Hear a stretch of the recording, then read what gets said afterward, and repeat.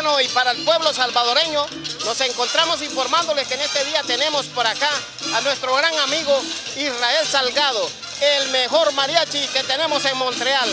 Así que vamos a pedirle sus impresiones. ¿Qué tiene usted preparado para el próximo año?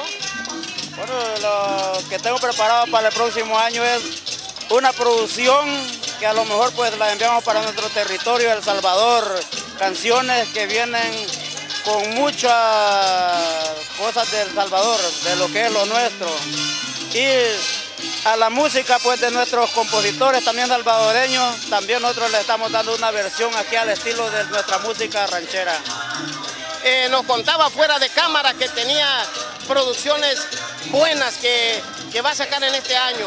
Eh, ¿Nos podía dar una, una pequeña remembranza de lo, que, de lo nuevo que trae? Bueno, las canciones que tengo son la canción que se llama El Pulgarcito, una canción dedicada a lo que es a nuestro territorio El Salvador.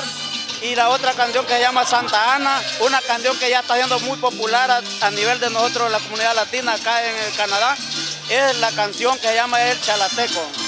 Así que eso sería lo que viene. Eh, ¿Podría hacerle una invitación al pueblo salvadoreño para que escuche sus nuevos éxitos?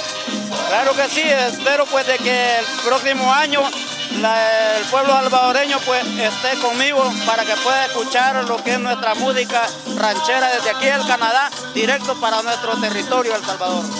Bueno, y acá tendrá siempre la cobertura periodística lo que es la radio Chaparrastique de San Miguel, como igualmente el canal 67 de Oriente. Un último mensaje para despedirse. Bueno, solamente les quiero agradecer. Yo sabía que algún día los iba a abrazar las cámaras de nuestro territorio aquí en el Canadá, en el norte.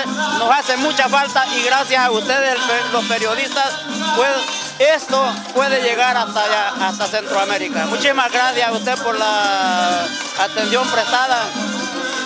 Gracias y hasta la próxima. Bueno.